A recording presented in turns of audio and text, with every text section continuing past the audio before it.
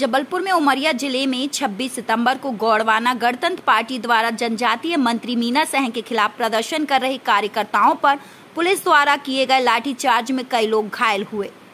इस दौरान प्रदर्शनकारी आक्रोशित हो गए और पुलिस पर पथराव कर दिया, जिसमें कई पुलिसकर्मी घायल हो गए।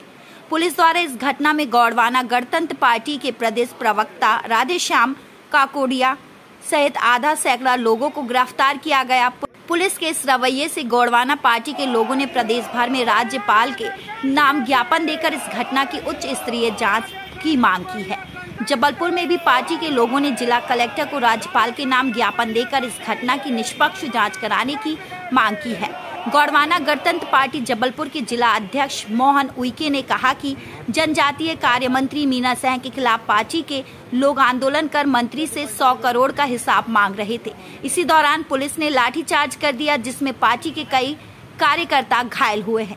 मोहन उइके ने आगे कहा कि पुलिस पर जो हमला हुआ है, उसके पीछे पार्टी कार्यकर्ताओं को उकसाना है। पार्टी कार्यकर्ताओं को उकसाया गया, तभी वो आक्रोशित हो गए। मोहन उइके ने ये भी कहा कि मधुमक्खी के छत्ते को पत्थर मारोगे तो काटेंगे। जबलपुर से बाजिद खान की रिपोर्ट।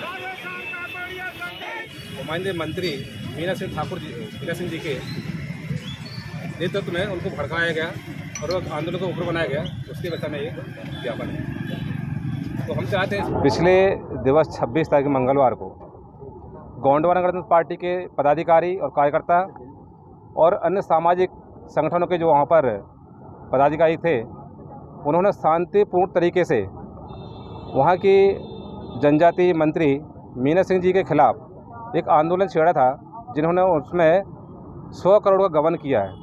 उसका हिसाब मांगने के लिए हमारे कार्यकर्ता पदाधिकारी वहाँ पर एक आंदोलन कर रहे थे, वो भी शांतिपूर्ण तरीके से कर रहे थे। परंतु भ्रष्ट सरकार की भ्रष्ट मंत्री के मनसे से उन्होंने इस आंदोलन को उकसाने की कोशिश की और हमारे कार्यकर्ताओं पर प्रभावतापूर्वक लाठीचार्ज किया, इसलिए आंदोलन उग्र हुआ। हमारे जितने भी कार्यकर्ता पदाधिकारी हैं, वो कभी उग्र आंदोलन नहीं करते हैं। बहुत शांति प्रति पदाधिकारी होते हैं, हमारे समाज शांति प्रिय लोग ही होते हैं। और सबसे ज़्यादा मैं संगठन की बात करूँ गोंडवाना गणतंत्र पार्टी की बात करूँ तो हमारे गोंडवाना गणतंत्र पार्टी में कोई भी ऐसा आपराधिक प्रवृत्ति का अभी तक पदाधिकारी नहीं है। जी, उनको उकसाया गया।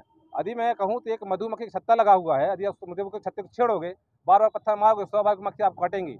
ऐसे ही हमारे संगठन के लोग बहुत सीधे साधे होते हैं, कभी किसी का विरोधाभास नहीं करते हैं। यदि उनको बार बार उकसाया गया है तो हो सकता है उस संबंध में हमारी बहन बेटियों के साथ में बच्चों के साथ में मारपीट गई है हमारे जो बुज़ुर्ग सियाने होते हैं उनके साथ मारपीट गई की गई हुई तो इसको कोई बर्दाश्त करेगा क्या? कितने लोग घायल हुए हमारे लगभग वहाँ से तीस से चालीस लोग घायल हुए हैं और उसमें कुछ पुलिसकर्मी भी घायल हुए हैं।